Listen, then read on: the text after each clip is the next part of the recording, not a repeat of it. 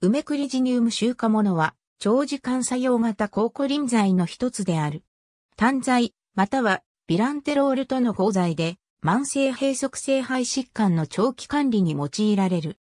また、ビランテロール及びフランカルボン酸フルチカゾンとの酸、成分配合剤のうち、テリル G100 エリプタが気管支喘息及び COPD の長期管理に、テリル G200 エリプタがズダの長期管理に用いられる。いずれもグラクソスミスクラインの商品である。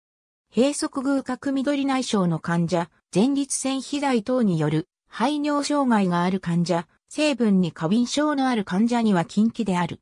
心不全、心房細動、気外収縮、またはこれらの起用のある患者には、慎重投与とされている。添付文書に記載されている重大な副作用は、心房細動である。その他、0.5%以上の患者に、頻脈、外装、口内乾燥、便秘が発現する。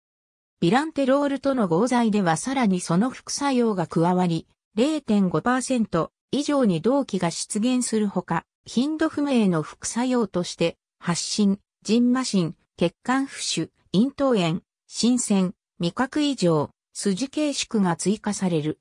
単剤及びビランテロールとの配合剤は、慢性閉塞性肺疾患の気道閉塞性障害に基づく諸症状の寛解。前述の通り、ビランテロール、フランカルボン酸フルチカゾンとの酸成分配合剤のうち、テリル G100 エリプタは気管支喘息及び慢性閉塞性肺疾患、テリル G200 エリプタは、気管支喘息のみ。いずれも、長期管理に用いられ、急性増悪時の治療には適さない。ありがとうございます。